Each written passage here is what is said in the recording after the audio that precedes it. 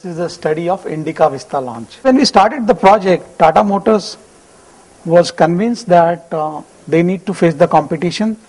The new car variants were required to be introduced at a faster pace. And this was around 2006 when they realized that the traditional manufacturing is a bottleneck. They need to change. What are the trends? Those are driving the business transformation. We're talking about a large project that has changed the whole organization and then there are multiple um, trends available, but I refer to the Capgemini survey, which I found is the closest one for Indian scenario also. Incidentally, this was done for the European executives.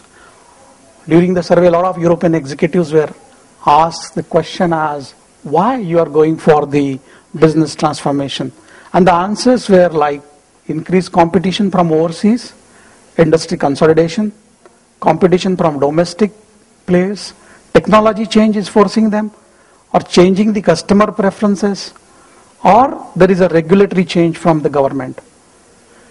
So, when we talk about the Tata Motors transformation, we realize that two things were dominant for Tata Motors. One is the increased domestic competition, other is they were looking for a process change. Business transformation, I'll call BT, when I was implementing this BT, there are many program management challenges, but uh, two of them I want to mention here specifically. The first one is resistance to change.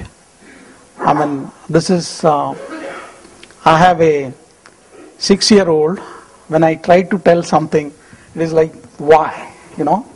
The resistance to change is like in our blood.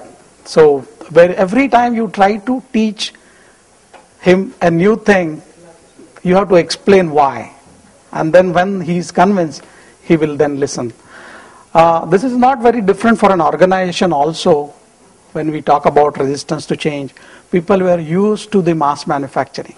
So when we went for the just-in-time or the Toyota production system, uh, there were a lot of challenges basically facing this change. The other aspect that I felt was a big challenge is the coordination.